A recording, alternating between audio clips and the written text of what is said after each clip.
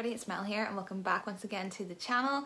Sorry for a bit of the boring background today, but it's just easier when it's a really good day like today it's nice and bright. I can just sit right in front of my window and film without setting lights up, so the background might be a bit dull, but it's just a bit of an easier setup. So today is the very first episode of the Countdown to 30 challenge where I try something new every week for 52 weeks until my 30th birthday. If you have any other suggestions of things that I should try or that you'd like to see during the series, do go ahead and leave them in the comments. If you want to follow along, don't forget to hit subscribe and the little notification bell beside it too so you get notified when I upload.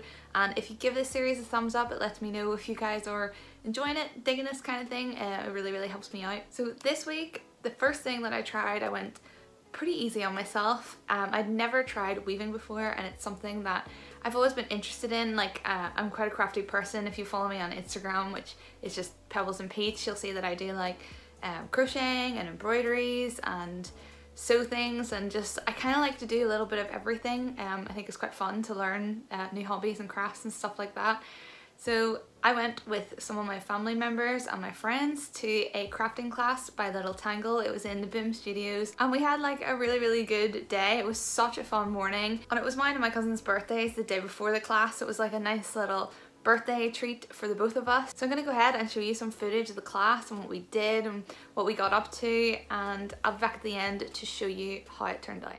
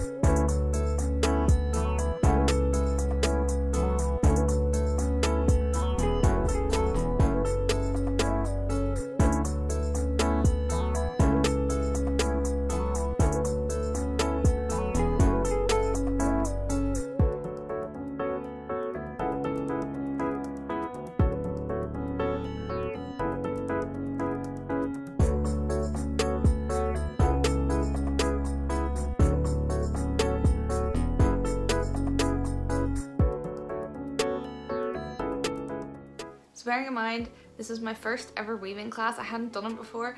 The problem that I had during this class was I just took my sweet time and like was really really enjoying it at the beginning. And didn't realize that time was running on. Like anyone who's crafty or does art or anything like that you'll know that the time literally flies in. So please don't laugh at like how terrible this turns out I swear it's just because I was rushing. So this is the end result of my class. Like you can see, look, it started out so nice down here and here and then this is where things just started to go horribly wrong whenever I was running out of time. Like all these I thought turned out pretty well.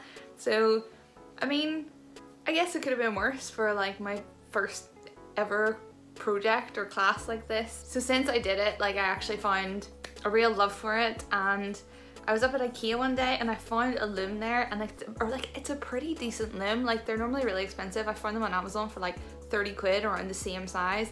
And this one was in the kids section of Ikea and it was only like 15 pounds. I'll link it down below. There's no affiliate link or anything like that. It'll just be a straight link to Ikea and you can check it out to see which one I got. So since that happened and I was like, oh, that was a disaster, but like I know I can do better, I have started to do one. Now this project's not finished, but I'll show you it. So it's a significant amount bigger, but you can see there already it looks like a bazillion times better than what I did at the other class. So this is sort of the bottom of it. And then I'm just kind of figuring out what little detailing I want. You can move these about and around and whatever. So yeah, this is the initial one and this is this one. So it's a good bit bigger, but obviously I enjoyed it so much that yeah, I've decided to try and do a little bit more. So thank you so much, first of all, to Little Tangle for doing the class. Check her out on Instagram or Facebook. Like, She is so, so talented and the stuff she does is amazing. And I'm sure you can check out where she's doing more classes and things like that. I would highly, highly recommend them because it was such a good little group of people and such a great atmosphere and my family and my friends and I all really, really, really enjoyed the class. So I would highly recommend going to something like that, trying it out and getting stuck in. Um, like you will just have the best time whether you go on your own or go with a group of people.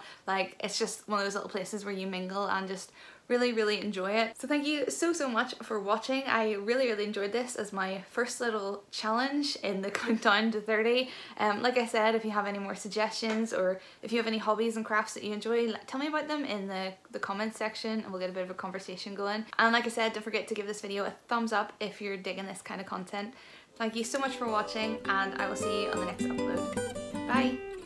I'll raise a glass to you and you'll raise a glass to me.